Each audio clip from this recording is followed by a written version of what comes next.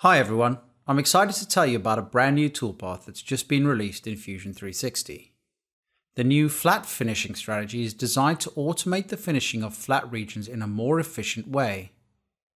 The new flat strategy can be found in the 3D toolpaths dropdown and offers several advantages when compared with the 3D horizontal strategy. Let's zoom into this first example, where you can see a raised fillet up stand that is using the current horizontal strategy. Unfortunately, the horizontal strategy incorrectly interprets the tops of some fillet areas as flat regions and attempts to machine them. Machining this could likely mark my part and lead to a lengthier toolpath to run on the machine. The new flat finishing strategy recognizes this automatically and doesn't machine the false flat on the top of the fillet, leaving you with a better surface finish and a more efficient toolpath. Focusing on the pocket area, the horizontal strategy doesn't recognize open pockets. Lengthy air cutting moves, poorly positioned lead ins and lead outs, and no option to start the tool from outside the pocket make for a very inefficient toolpath.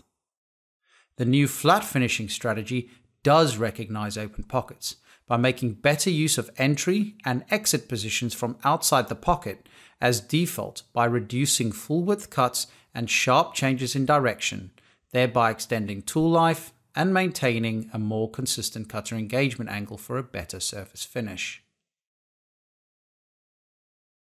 A drawback of the horizontal strategy is that it doesn't support touch avoid surfaces. Flat finishing does support touch avoid surfaces, and in this example, I'm using it to explicitly define a touch surface to machine. This dramatically speeds up programming time and gives more control on where you want to machine. Let's jump over to the other pocket. Here, I have a tool traversing into a pocket which has vertical fillets with the radii less than that of the tool. In the horizontal strategy, selecting the fillets option only offsets the toolpath with no fillet, requiring subsequent operations to finish the sidewalls of the pocket.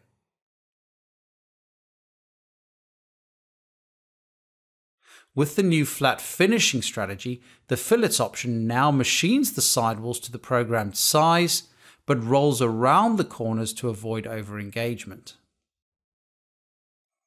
In this last example, the horizontal strategy does not have the ability to ignore holes or small pockets, so the typical workflow with the horizontal strategy would be to use a surface patch to cap off each hole, then include them in the setup or the toolpath.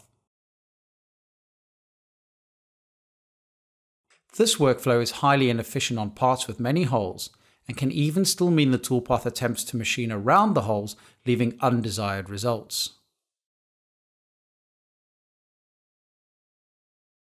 Flat finishing has the option to machine over holes.